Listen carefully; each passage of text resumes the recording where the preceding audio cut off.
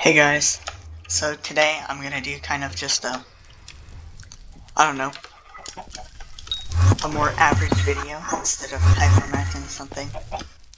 So I got a new Necron's chestplate, and I wanted to test it out to see if this Maxor armor is better than Shadow Assassin. First I'm gonna apply Withered to it, or not Withered, Ancient. So.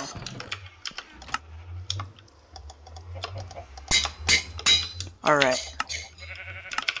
Now I'm gonna see if Maxor is better than Shadow Assassin. So. This Necron chestplate, I got it a bit ago. And I put some of the best things I could afford on it. So, like, nothing too crazy. Though I could put Legion on it. So instead of using Shadow Fury, because it's fabled, it has fluctuating damage, I'm going to use a Reaper Scythe. Now let's test it. 270k. Okay. And now, let's do with this. 290k. It looks like Shadow Assassin is indeed better Though I think Maxor has more. Eh, actually.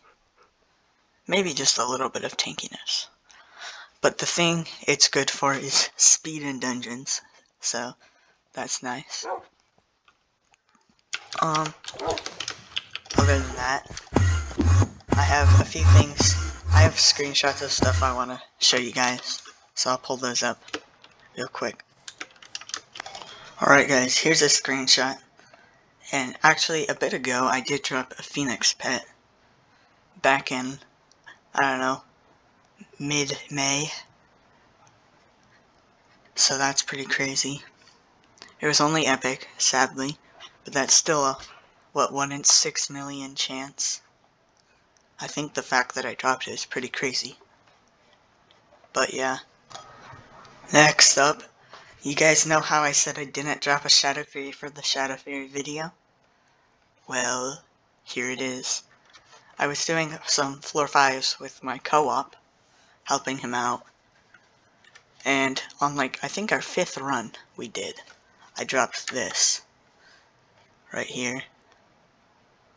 So, I actually got one. I ended up selling it for around, I want to say, hmm, 27 mil. So it's 15 mil profit almost. It's pretty nice. Anyways, next up is... Here's a bit of a spoiler for the next video, I guess. I actually dropped a Warden Heart. Uh, yesterday, actually. I didn't freak out, but it was pretty nice. I, um, I forgot to clip it. I would have if I remembered. It, it would have been me just probably yelling. but I think I grinded for straight six hours straight to get this. I was about to quit to go play other things. And it's, this was like my second to last boss I was gonna do. It's pretty crazy.